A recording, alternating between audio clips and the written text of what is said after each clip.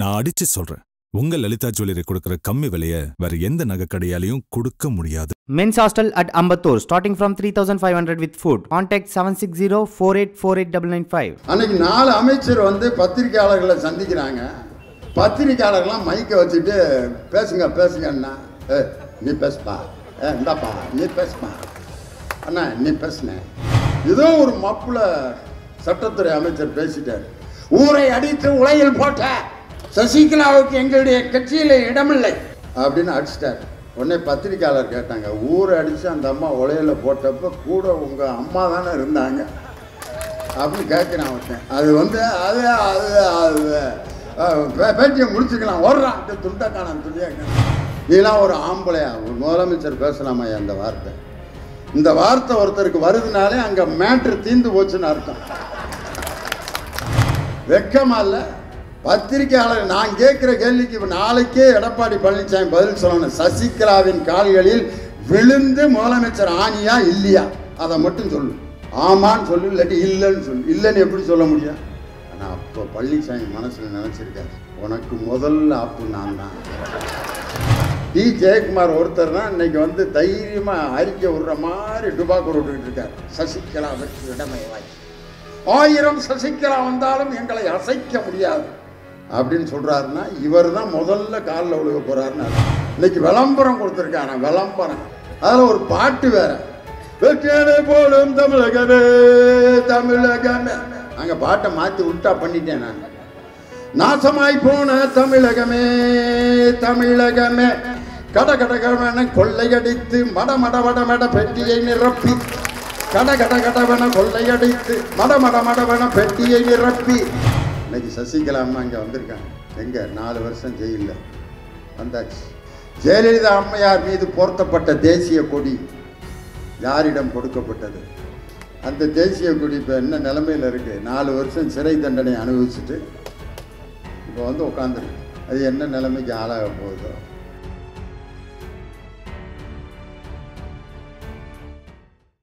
இன்னைக்கு என் தலைவர் கழகத் தலைவர் தளபதி ஸ்டாலின் அவர்களை நேரடியாக கை நீட்டி பேசுவதற்கு எந்த யோக்கியதும் இல்லாத ஒரு மனிதர். அவர் இன்னைக்கு பேசுறாருயா? என்ன பேசுறாரு? இன்னைக்கு அந்த குரூப் என்ன நிலைமைக்கு ஆளாயிருக்கு தெரியுங்களா? அரண்டவனுக்கு இருண்டதெல்லாம் பேய்ங்கிற மாதிரி. ஒன்னொன்னு என்ன பேசுறதுனே தெரியாம முழிச்சுக்கிட்டு இருக்காங்க. அன்னைக்கு நாலு அமைச்சர் வந்து பத்திரிகையாளர்களை சந்திக்கிறாங்க. யார்? மின்துறை அமைச்சர் தங்கமணி மீன்வளத்துறை அமைச்சர் டி. ஜெயக்குமார் சட்டத்துறை அமைச்சர் சி. வி. சண்முகம் இவங்க இன்னொருத்தர். ஆ மதுசூதன ஐயா. யார்? லைட்டு மரம் மதுசூதனன். இந்த நாலு பேரும் நின்றுக்கிட்டு பத்திரிக்கையாளர்கள்லாம் மைக்கை வச்சுட்டு பேசுங்க பேசுங்கண்ணா ஏ நீ பேசுப்பா. ஏ இந்தாப்பா. நீ பேசுப்பா. அண்ணா நீ பேசுன. ஏ நீ பேசுப்பா. ஏ நீ பேசியா? நீ பேசியா? அண்ணே நீ பேசுன. ஏன்? ஆளாளுக்கு முன்னாடி முன்னாடி பேசிக்கிட்டு இருந்தார் நம்ம ஆள் முந்திரிக்கோட்டை ஜெயக்குமார். நாலு மைக்கு வச்சோன்னா அது வந்து அது வந்து நாங்கள் எதுக்கு வந்து இது வந்து நாங்கள் பேசுகிறோம்னா இது வந்து அது வந்து இது இந்த கருத்துக்களை நாங்கள் எதுக்கு சொல்ல வந்து இந்த ஊழ வந்து போட்டிய ஏன் அன்னைக்கு அந்த வந்து வந்து வரல? அங்கே கிடு கிடு கிடு கிடு கிடு கிடு கிடு கிட்டு நடுக்கான். அப்படியும் ஏதோ ஒரு மப்புல சட்டத்துறை அமைச்சர் பேசிட்டார். என்ன பேசினார் தெரியுங்களா? ஊரை அடித்து உலையில் போட்ட. சசிகலாவுக்கு எங்களுடைய கட்சியில் இடமில்லை. அப்படின்னு அடிச்சிட்டார். உடனே பத்திரிக்கையாளர் கேட்டாங்க ஊரை அடித்து அந்த அம்மா உலையில் போட்டப்ப கூட உங்கள் அம்மா தானே இருந்தாங்க? அப்படின்னு கேட்குறான் ஒருத்தன் அது வந்து அது அது அது அஹ், பேட்டியை முடிச்சுக்கலாம். ஓடுறான். துண்டக்கான துணியாக்கான இதெல்லாம் ஒரு பொழப்பு இது ஒரு அமைச்சர் இந்த குரூப்பு இதில் எடப்பாடி பழனிசாமி பார்த்தீங்கன்னா அவர் ஒருத்தர் மட்டும்தான் கத்திக்கிட்டு இருக்கார். ஆனால் என் கழகத் தலைவர் தளபதி ஸ்டாலினோட தலைமையில் தமிழகம் முழுவதும் இன்னைக்கு பிரச்சாரம் நடந்துக்கிட்டே இருக்கு. ஒவ்வொரு மாவட்டத்திலும் பிரச்சாரம் நடக்குது. ஆனால் நம்மால் எடப்பாடி பழனிசாமி அனாதையாக கத்திக்கிட்டு இருக்கார். இப்படியே அதில் என்ன பேசுகிறார் தெரியுமா? துண்டு சீட்டு இல்லாமல் பேச முடியுமா? அப்படின்னு கேட்குறாரு இன்னைக்கு நான் கேட்குறேன் துண்டு சீட்டு இல்லாமல் பேச முடியுமான்னு என் தலைவரை கேட்குறாரு கொலா சண்டை போடுறதுக்கு துண்டு சீட்டு தேவையில்லை. கொலா சண்டை போடுற பொம்பளைய துண்டு சீட்டு வச்சா பேசுது. ஏய் இந்தடி உன்னைய நான் பாரு என்ன செய்கிறேன் பாரு. இங்கே பாரு நீ நீலாம் ஒரு பொம்பளையாடி. இதை எழுதி வச்சா பேசுவாங்க. பைத்தியக்காரன் ரோட்டில் உளறிட்டு போகிறானே அவன் துண்டு சீட்டு வச்சுட்டா பேசிகிட்டு இருக்கேன். அப்படி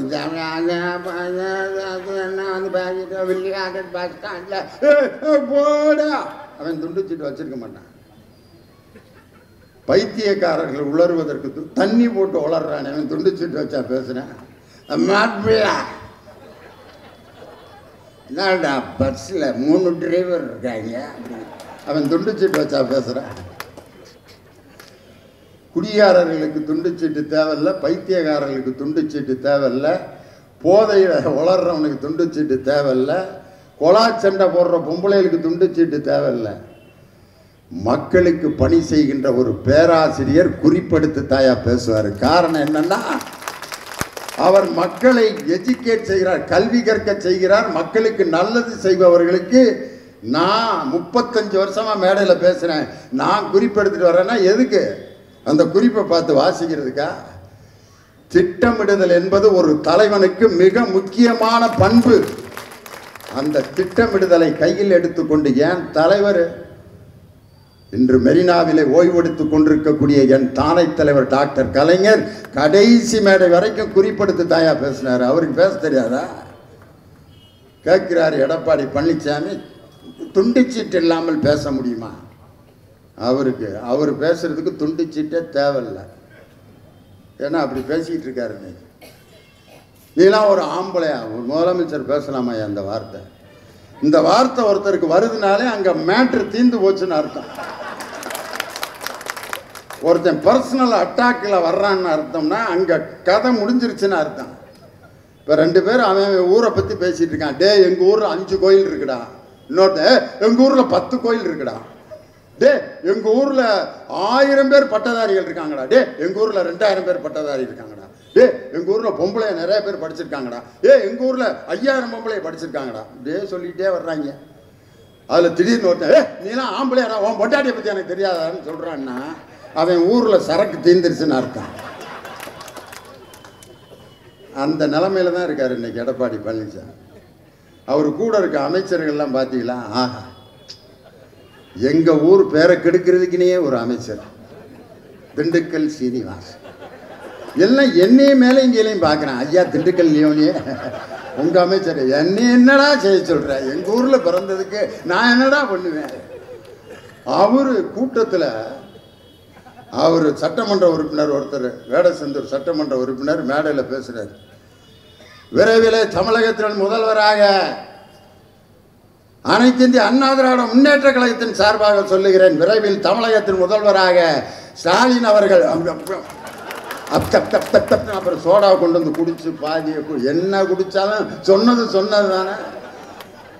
ஒரு சட்டமன்ற உறுப்பினருடைய மனசுல அதிமுக சட்டமன்ற உறுப்பினருடைய மனசுல வருங்கால முதல்வர் ஸ்டாலின்ங்கிறத பதிய வச்சிருக்காருன்னா இதுக்கு மேல ஒரு தலைவர் வேற என்ன செய்ய முடியும்? அதை விடுங்க. திண்டுக்கல் சீனிவாசன். ஐயோ ஐயோ. அவர் படுத்துகிற குடும்பம் இருக்கு பாருங்க. மேடையில் ஒரு சட்டமன்ற உறுப்பினர்.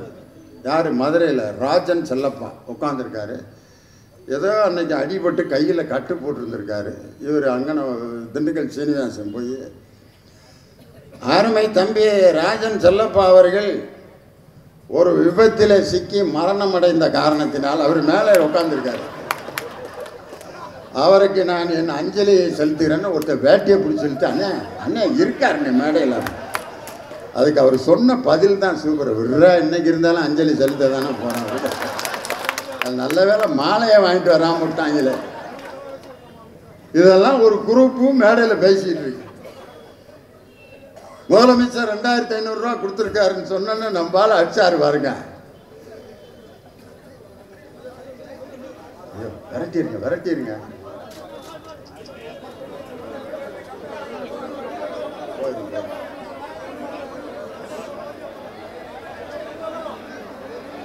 உட்காருங்க ஒன்றும் செய்யாது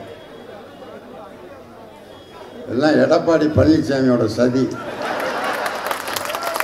லியோனி இவ்வளோ பேரை பேசி வச்சு இவ்வளோ சந்தோஷப்படுத்துகிறானே ஏதாவது ஒரு ஐடியா பண்ணுங்கடான்னு கோழைகளுடைய செயல் அது ஒரு நல்ல சகுனம் ஒரு பசுமாடு.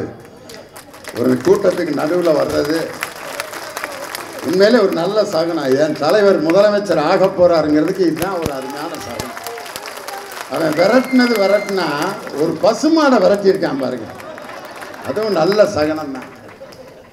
உண்மையிலேயே இப்படிலாம் ஒரு ஏடிஎம்கே கூட்டத்தில் ஒரு மாடு பூந்துருந்துச்சுன்னா வெறும் காலி நாற்காலி தான் இருக்கான். எதற்கும் அஞ்சாத படை இந்த திராவிட முன்னேற்ற கழகத்தினுடைய படைங்கிறதுக்கு இதுக்கு மேலே வேற என்ன உதாரணம்? இன்னைக்கு அப்படிப்பட்ட அமைச்சர் ரெண்டாயிரத்தி ஐநூறுரூவா எங்கள் முதலமைச்சர் கொடுத்துட்டாருன்னு நம்ம திண்டுக்கல் சீனிவாசன் விடுறா அவர் அண்ணன் கொடுத்துருக்காருல்ல. அப்படியே டாஸ்மார்க் வழியாக நமக்கு வரத்தாண்டா போதும் மக்களை எவ்வளவு முட்டாள்களாக இளிச்சவாயர்களாக மாற்றிய ஒரு ஸ்டேட்மெண்ட்டை ஒரு அமைச்சர் கொடுக்கலாமா? இன்னொரு அமைச்சர் இருக்கார் பால்வளத்துறை அமைச்சர். மஞ்சள் கலர் சிப்பா. கையில் ஒரு முப்பது கலரில் கயிறு. முப்பது கலர் கயிறு. இங்கே ஒரு குங்குமம் இங்கே ஒரு குங்குமம் விபூதி. கும்பிட வேண்டியதான் எங்கள் அண்ணன் சேர் பாப்பன் சாமி கும்பிடுவார். அழகாக ஒரு குங்குமம் வைப்பார் விபூதி வைப்பார் சபரிமலைக்கு மாலை போடுவார். அழகாக ஒரு வேட்டியை அவ்வளோதான் ஏண்டா முப்பத்தஞ்சு கயிறா போகிற இடத்துல பூரா கயிறை வாங்கி கட்டி விபூதியை சாமியே அவங்கள பார்த்து அந்த இது பேய் பிடிச்சி வர்ற பொம்பளைய இவரை பார்த்து பயப்படுது. அப்படிங்கிறது அவரை பார்த்தா எனக்கு என்ன ஞாபகம் வரும்னா எங்கள் ஊரில் ஒரு பிச்சைக்காரன் இருக்கேன். எந்த கோயிலுக்கு போகிறோமோ அந்த கோயிலோட யூனிஃபார்மை பையில் வச்சுருப்பேன். மாரியம்மன் கோயிலில் பிச்சை எடுக்கணும்னா மாரியம்மன் கோயில் மாலையை போட்டு மா மாரியம்மன் கோயிலில் ச- ச- போட்டுக்கிறேன் அதே மாதிரி சர்ச்சில் பிச்சை எடுக்கணும்னா சிலுவை வாங்கி நெத்தியில் நெஞ்சில் மாட்டிட்டு இயேசுக்கு புகழ் இயேசுக்கு புகழ்னு பிச்சை எடுப்பேன்.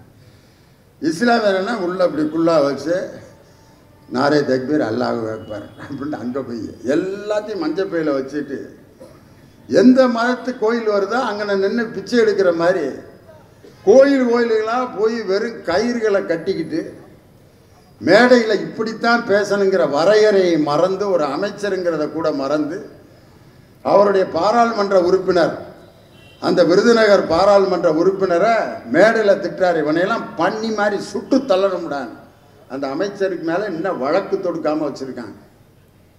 இப்படிப்பட்ட ஒரு கேடுகட்ட அமைச்சர்கள் இதில் பெரிய தைரியம். எங்கள் அப்பா. சசிகலா அம்மையார் வரப்போகிறார்னு சொன்ன உடனே ஜெயலலிதாவுடைய சமாதியை அவசர அவசரமாக இருபத்தி ஏழாம் தேதி திறந்து அந்த திறப்புல அன்னைக்கு நான் அண்ணா நகரில் விடியலை நோக்கி ஸ்டாலினின் பயணம். அந்த பயணத்தில் இருந்தேன். அண்ணா வளைவுக்கு பக்கத்தில் இருக்க அண்ணா சிலைக்கு மாலை போட்டு நான் Anna Nagar MLA M K மோகனும் நின்றுட்டு இருக்கான். மாவட்ட செயலாளர் சிற்றரசு எல்லாம் நின்றுட்டு இருக்கான். அப்போ அந்த திறப்பு விழாவுக்கு பஸ்ஸில் ஆளுகளை அழைச்சிட்டு போகிறாங்க பஸ்ஸாக போகுது. அதில் ஒரு பஸ்ஸில் அதிமுக கொடி கட்டின பஸ்ஸில் உள்ளுக்கு ஒரு ஐம்பது பொம்பளையை உட்காந்து நான் வெளியே நிற்கிறேன் என்னை பார்த்துட்டு லியோனி என்ன நல்லா இருக்கியா? அப்படின்னு கத்திட்டு போகுது. இப்படி காமிக்குது.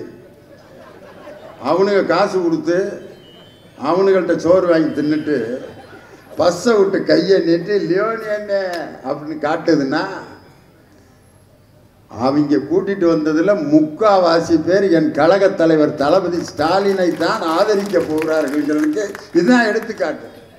அதை விட பெரிய சம்பவம் என்ன நடந்துச்சுன்னா அதிமுக காரர்கள் எல்லாம் என் தலைவர் முத்தமிழறிஞர் டாக்டர் கலைஞருடைய நினைவிடத்தில் வந்து அந்த வேட்டியை கட்டிக்கிட்டு அவருக்கு அஞ்சலி செலுத்தினான் நான் தலைவருக்கு அஞ்சலி செலுத்திட்டு வெளியில் வர்றேன் ஒரு மூணு அதிமுக காரங்க போனாங்க. பார்த்துட்டு ஏ லியோனு என்ன? கூட செல்ஃபி. அதிமுக வேட்டியோட என் கூட செல்ஃபி எடுக்கிறேன். நானே எடுத்தேன். அண்ணே ரசிகர்ண்ணே விட்றா எடுறா. என் தலைவர் சமாதிக்கு நீ வந்துட்டே இனி எங்கால்றா நீ? வேட்டி தாண்டா அந்த வேட்டியை கட்டியிருக்கேன் அப்படின்ட்டு ஃபோட்டோ எடுத்துட்டு அப்போ நான் கேட்டேன் அதிமுக காரங்க கூட்டத்துக்கு வந்துட்டு என் தலைவருக்கு ஏன்டா அஞ்சலி செலுத்த வந்தேன்னு? கேட்டதுக்கு ஒரு வார்த்தை சொன்னான் எங்கள் தலைவருக்கெல்லாம் அவர் தலைவராக இருந்தவர் யா? அப்படின்னு நான் யார் யா உங்கள் தலைவர்? எங்கள் அதிமுகவை தோற்றுவித்த எம்ஜிஆருக்கே தலைவராக இருந்தவர் அவர். அதனால் அந்த தலைவருக்கு நாங்கள் அஞ்சலி செலுத்த வந்தோம்னு சொன்னானே அந்த நன்றி உணர்ச்சி எடப்பாடி பழனிசாமிக்கு இருக்கா? நன்றினா என்னன்னு தெரியுமாயா உனக்கு? எப்படி முதலமைச்சர் ஆனங்கிறத என் தலைவர் வந்து போகிற இடத்துல எல்லாம் வீடியோ போட்டு காமிச்சுக்கிட்டு இருக்காரு. எது? அந்த நாலு நாற்காலி காலு கட்டியில் ஐயா போவார் பாருங்க. டிப்பரி டிப்பா டிங்கிரி டிக்கா. வெக்கமா இல்லை? பத்திரிகையாளர் நான் கேட்குற கேள்விக்கு நாளைக்கே எடப்பாடி பழனிசாமி பதில் சொல்லணும். சசிகலாவின் கால்களில் விழுந்து முதலமைச்சர் ஆனியா இல்லையா? அதை மட்டும் சொல்லு. ஆமான்னு சொல்லு இல்லாட்டி இல்லைன்னு சொல்லு. இல்லைன்னு எப்படி சொல்ல முடியும்? அதான் ஊர் முழுதும் வீடியோ போட்டு காமிச்சிட்ருக்கேன் அதில் அப்படியே இந்த காலில் விழுந்து போன காட்சியை டிவியில் பார்த்தா டே எங்கள் அப்பா. இங்கிட்டு ஓ பன்னீர் சொல்லுவான் இங்கிட்டு யார்? திண்டுக்கல் சீனிவாசன் நடுவில் யார்? குற்றவாளி டூ. சசிகலா அம்மையார் உட்காந்துருக்காங்க திடீர்னு திண்டுக்கல் சீனிவாசன் வேட்டியில் யாரோ இழுக்கிற மாதிரி யாரா அப்படின்னு இப்படி எழுந்திரிச்சார் யாரான்னு பார்த்தா ஐயா வர்றாரு பின்னாடி. எக்ஸ்பிரஸ் வேகத்தில் வர்றாரு. வந்து காலை கவ்வி பிடிச்சோன்னு அந்த அம்மா ஆமா. யார்? என்ன என்ன என்ன? எழுப்பி விட்டு அந்த அம்மா சொன்ன வாக்கியம் விசுவாசமான ஒரு ஊழியன். நம்பிக்கைக்குரிய என் சகோதரர். இந்த வாக்கியம் எவ்வளோ ப- அருமையான வாக்கியம் பாருங்க. நம்பிக்கைக்குரிய என் சகோதரர் விசுவாசமான தொண்டர் பழனிசாமியை நான் சட்டமன்ற கட்சி தலைவராக தேர்ந்தெடுக்கிறேன். அப்படின்னு தோள்பட்டை அப்படி பிடிச்சி தூக்கி விடுது அந்த அம்மா. ஐயா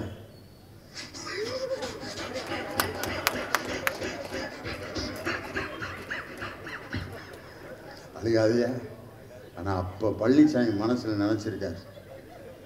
உனக்கு முதல்ல ஆப்பு நான் தான் அந்த அம்மா விவரம் தெரியாமல் ஐயாவை நம்பி பொறுப்பை ஒப்படைச்சு இன்றைக்கி நம்ம காலில் சுடுதண்ணியை ஊற்றுன மாதிரி இப்படி பின்னாடி கிள்ளி விட்டோன்னே பேசுவாங்கல்ல டேய் அது மாதிரி. சசிகலாவை கட்சியில் சேர்த்துக்க மாட்டான் அப்படின்னு சொல்கிறாரு என்ன நடக்க போகுதோ? இப்படிப்பட்ட ஒரு கேடுகட்ட ஒரு கட்சி இன்னைக்கு ஆட்சியில் இன்னும் எத்தனை நாட்கள் நீடிக்க போகிறதோ தேர்தல் அதிகாரி இன்னைக்கு வந்து சுற்றுப்பயணம் பண்ணிட்டாரு இன்னைக்கு நாளைக்கும்.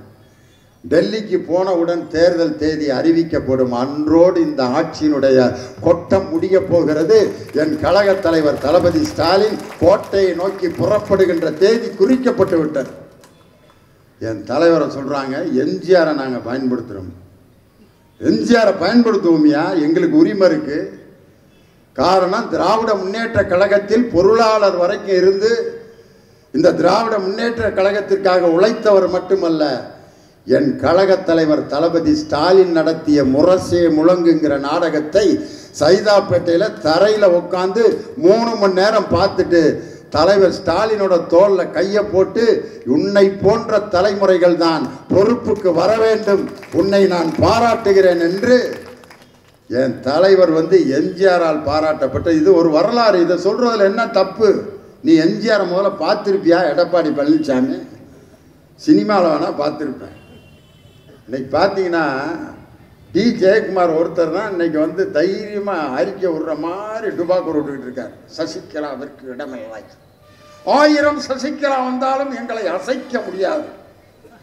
அப்படின்னு சொல்றாருன்னா இவர் தான் முதல்ல காலில் விழுக போறாருன்னு அர்த்தம். தேர்தல் தேதி அறிவித்த உடனே முதன் முதலில் காலில் விழப்போவது யாருன்னா அவர் தான் வேற யாரும் இல்லை. காரணம் இந்த சண்டை வர்றப்ப முதல்ல சண்டியர் மாதிரி கத்திட்டு இருப்பாங்களே சில பேர். உன்னையா பாடுறா அப்படின்னு அவனை பாருங்க. டாய்! அப்படின்னு ஓடிடுவேன்.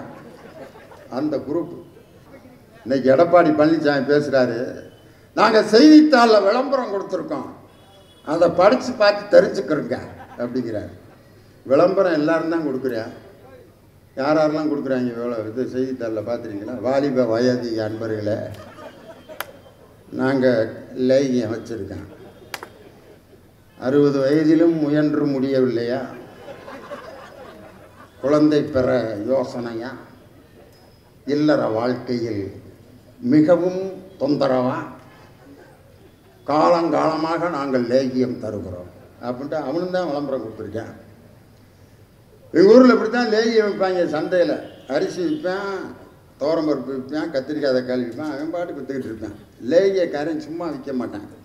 ஒரு மேஜையில் ஒரு இருபது பாட்டில் வச்சுக்கிட்டு ஒரு மைக்கை பிடிச்சிக்கிட்டு நாகமலை தோகமலை நடுவருக்கு வீரமலை சுத்தி படர்ந்தமலை சூதாறு வெய்யமலை சித்திமலை சிவன்மலை கொல்லிமலை குடகுமலை இந்த பத்து மலையிலையும் தேடி கண்டுபிடிக்க முடியாத ஒரு விதை எடுத்து உருவாக்கப்பட்ட லையா இரநூறு பேர் வந்துட்டான் அண்ணன் லேகி விற்கிறாரா அதெல்லாம் விதெல்லாம் சுதெல்லாம் பாதாள அந்த நாள் லோகத்திலையும் கண்டுபிடிக்க முடியாத ஒரு விதை அந்த விதையிலிருந்து வந்த வேறு அந்த வேரிலிருந்து உருவாக்கப்பட்ட லையா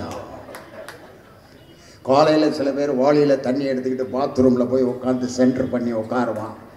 முக்குவான் முனகுவான் திக்குவான் திணறுவான். டர்ரு புர்ருன்னு சவுண்டுகள் வந்துக்கிட்டு இருக்குமே ஒளிய மேட்ரு கீழே இறங்காமல் அடப்பில் கடந்து கஷ்டப்படுவான். நம்ம லேகியத்தை காலையில் ஒரு உருண்டை மத்தியானம் ஒரு உருண்டை ராத்திரி ஒரு உருண்டையை பிடிச்சி உள்ள தள்ளி ஒரு செம்பு சுடு தண்ணியை டக்குன்னு உள்ள தள்ளினீங்கன்னா வாளியை வச்சு சென்டர் பண்ணி உட்காடுறதுக்கு முன்னாடியே சும்மா பிரீத்து பிரீத்து பிரீத்துன்னு கல கல கல கல கலன்னு போய்க்கிட்டே இருக்கும். அவன் சொல்கிறப்பே நமக்கு போகிற மாதிரியே இருக்கும். சக்கரை தண்ணியை வச்சு லேகியம் எப்படி வைக்கிறாங்களோ அது மாதிரி தான் எடப்பாடி பழனிசாமி இன்னைக்கு விளம்பரம் கொடுத்துருக்காங்க விளம்பரம். டிவிலேயும் விளம்பரம் கொடுக்குறாங்க பார்த்துருக்கீங்களா? ஒரு அம்மா வரும். வயிறு மிகவும் பெரிதாக இருக்கிறதா? எங்களிடம் பாருங்கள் பத்தே நாட்களில் உள்ளே தள்ளி விடுவோம் நாங்கள் கொடுக்கின்ற அந்த தைலத்தை தடவி நாங்கள் கொடுக்கும் சட்டியை நீங்கள் போட்டுக்கொண்டால் பத்தே நாட்களில் இங்கே பாருங்கள் ஜட்டி போடுவதற்கு முன் ஜட்டி போட்ட பின் ஜட்டி போடுறதுக்கு முன்னாடி தொப்பக்குன்னு இருக்கேன். ஜட்டி போட்ட பின் அப்படின்னு. இவனும் தான் விளம்பரம் கொடுக்குறேன். ஏ விளம்பரம் கொடுத்தா அது பூரா உண்மையா? அதெல்லாம் நாங்கள் நம்புவோமா? அதில் ஒரு பாட்டு வேறு. வெற்றியடை போலும் தமிழகமே தமிழகமே. நாங்கள் பாட்டை மாற்றி உல்ட்டா பண்ணிட்டேன் நான் நாசமாய் போன தமிழகமே தமிழகமே. எடப்பாடியால் நாசமாய் போன தமிழகமே தமிழகமே. கட கட கடவன கொள்ளையடித்து மட மட வட மட பெட்டியை நிரப்பி. கட கட கடவன கொள்ளையடித்து மட மட மடவன பெட்டியை நிரப்பி. சசிகலாவின் காலை பிடித்து மலைப்பாம்பு போல் ஊர்ந்து சென்று அடிமையாய் போய் நாசமாய் போன தமிழகமே தமிழகமே. விவசாயிகளின் எலும்பை ஒடித்து பதிமூணு பேரை சுட்டு கொன்று பொள்ளாச்சியிலே பெண்களை கெடுத்து நாசமாய் போன தமிழகமே தமிழகமே. எக்கா விஷயம் தெரியுமாக்கா உனக்கு என்ன? நீட் தேர்வு ஜெயலலிதா அம்மா இருக்க வரைக்கும் வரலக்கா. எடப்பாடி பழனிசாமி தாக்கா நீட் தேர்வை கொண்டு வந்தாரு. அப்படியா?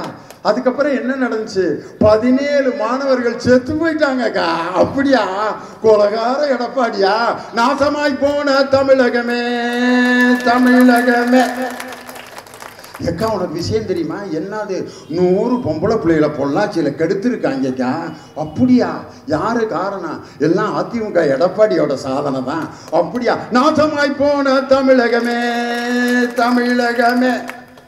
ஏ பாட்டுக்கு எச பாட்டு பாடுவான்டா திமுக காரன். பாட்டா போட்டு நாட்டை ஏமாத்துற.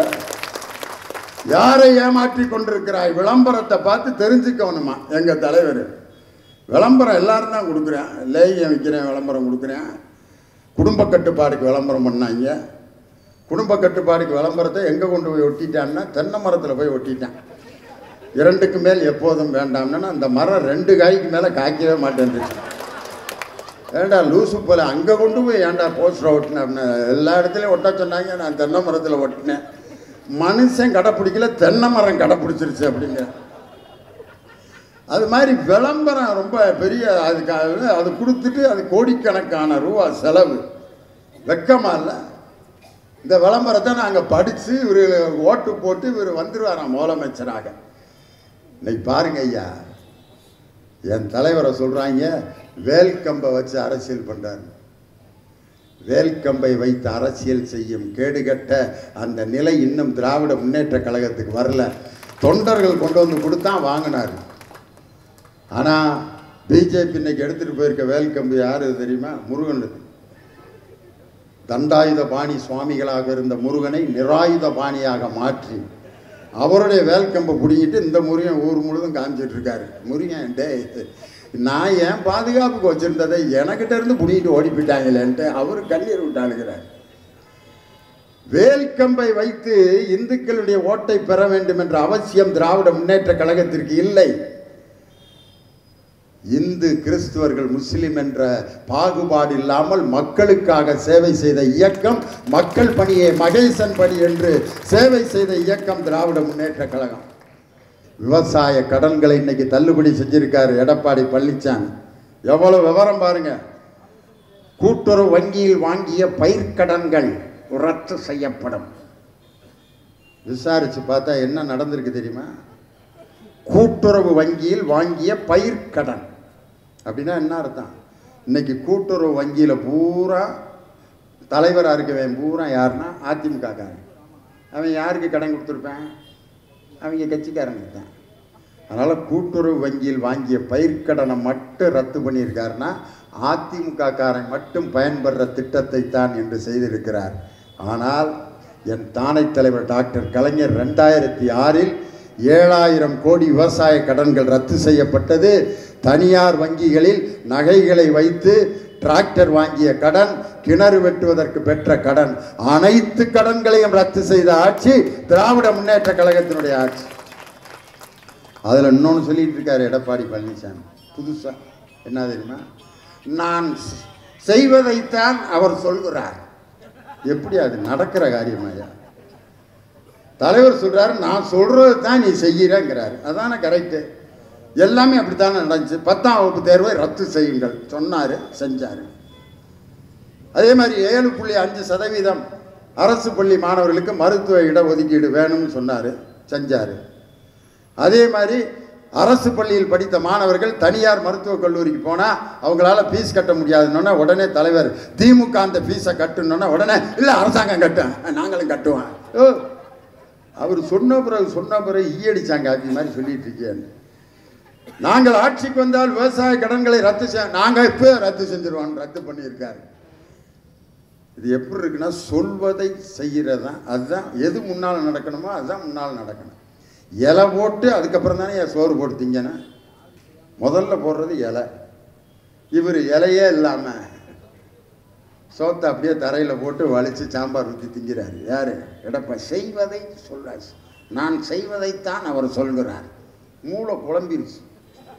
அவ்வளோதான் மென் லெவலுக்கு uh, போய் அதனால தான் கடைசி உச்சகட்டம் என்னன்னா கோயம்புத்தூரில் குனியமுத்தூரில் பேசுகிறப்ப சொல்லிட்டார் யார்? எடப்பாடி பழனிசாமி நாளைய முதல்வர் ஸ்டாலின் அவரே. யார்? எடப்பாடி பழனிசாமியை நாளைய முதல்வர் ஸ்டாலின் சொல்லிட்டாருன்னா எடப்பாடி பழனிசாமியுடைய மனசில் கூட நாளைய முதல்வர் ஸ்டாலின் என்பதை பதிய வைத்த தலைவர் நம் கழக தலைவர். நாளைக்கு சிலுவம்பாளையத்தில் ஓட்டு போடுறப்ப உதய சூரியனுக்கு அமுக்குனாலும் அமுக்கிடுவார். யார்? எடப்பாடி பழனிசாமி. அப்படி குழம்பி ஒரு லெவல் போயிருச்சு. இந்த சாக போகிற கிழமை எல்லாத்தையும் கூப்பிட்டு கூப்பிட்டு கண்டது கிடையாதையும் கொடுத்துக்கிட்டே இருப்பேன். பார்த்துருக்கீங்களா? இந்த அதெல்லாம் நீ வச்சுக்க. தாத்தா தாத்தா அந்த பீரோவில் இருக்க அதெல்லாம் நீ வச்சுக்க. சாக போகிற கிழமை எப்படி ஒவ்வொன்றா எல்லாத்தையும் கொடுப்பாரோ?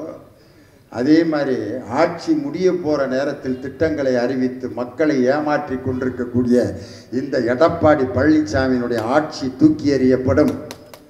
ஒரே ஒரு செய்தி சொல்கிறேன் இன்னைக்கு சசிகலா அம்மா இங்கே வந்திருக்காங்க. எங்கே? நாலு வருஷம் ஜெயிலில். வந்தாச்சு.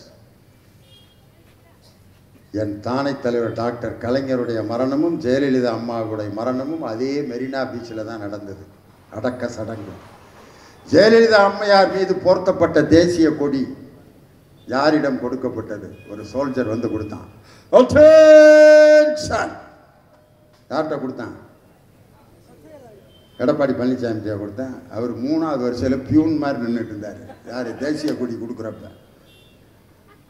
பக்கத்தில் ஓபிஎஸ் இவங்கெல்லாம் நின்றுட்டு இருக்காங்க. அவங்கள்ட்ட கொடுத்துருக்கலாம்ல? யார்கிட்டடா கொடுக்குறதா இருந்தால் முழிக்கிறேன். சின்னம்மா. இவங்கெல்லாம் சின்னம்மா சின்னம்மா சின்னம்மா.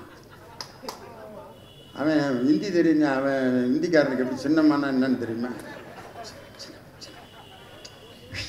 அப்படின்னு அவர்கிட்ட காண சொன்னேன். அப்புறம் அந்த தேசிய கொடி இப்போ என்ன நிலமையில் இருக்கு? நாலு வருஷம் சிறை தண்டனை அனுபவிச்சுட்டு இப்போ வந்து உட்காந்துருக்கு அது என்ன நிலைமைக்கு ஆளாக போகுதோ. தே கொடுத்த தேசிய கொடி நாலு வருஷம் ஜெயிலுக்கு போயிட்டு வந்திருக்கு. யார்? ஜெயலலிதா அம்மையார் மீது போர்த்தப்பட்ட தேசிய கொடி. ஆனால் என் தானை தலைவர் டாக்டர் கலைஞர் மீது போர்த்தப்பட்ட தேசிய கொடி. ஒரு ராணுவ வீரனால் என் கழகத் தலைவர் தளபதி ஸ்டாலின் அவர்களிடம் ஒப்படைக்கப்பட்டது. அந்த தேசிய கொடிதான் ரெண்டாயிரத்தி இருபத்தி ஒன்று ஆகஸ்ட் பதினைந்தாம் தேதி சென்னை கோட்டை கொத்தளத்தில் முதலமைச்சராக என் தானை தலைவர் டாக்டர் கலைஞர் பெற்றெடுத்த அருந்தவ புதல்வன் நாளைய முதல்வர் கழகத் தலைவர் தளபதி ஸ்டாலின் முதலமைச்சராக அந்த கொடியை ஏற்றப்போவது உறுதி உறுதி என்று சொல்லி கழகத் தலைவர் ஸ்டாலினை முதல்வராக்கும் வரை நமக்கு ஓய்வில்லை உறக்கமில்லை என்று சொல்லி உங்களிடமிருந்து விடைபெறுகிறேன். நன்றி வணக்கம். நக்கீரன் டிவிக்கு சப்ஸ்கிரைப் செய்யுங்கள். உங்கள் ஆதரவே எங்கள் பலம். ஆசிரியர்களுக்கு நண்பனாகவும் மாணவர்களுக்கு ஆசானாகவும் திகழும் தேர்வு வழிகாட்டி. ஒவ்வொரு பாடத்திற்கும் அனுபவமிக்க ஆசிரியர்களின் துல்லியமான தெளிவான விடைகள். சிஎன்சி இருக்கு தேர்வு பயம் எதற்கு? இது தீரன் பப்ளிஷிங் ஹவுஸ் விற்பனை வெளியீடு.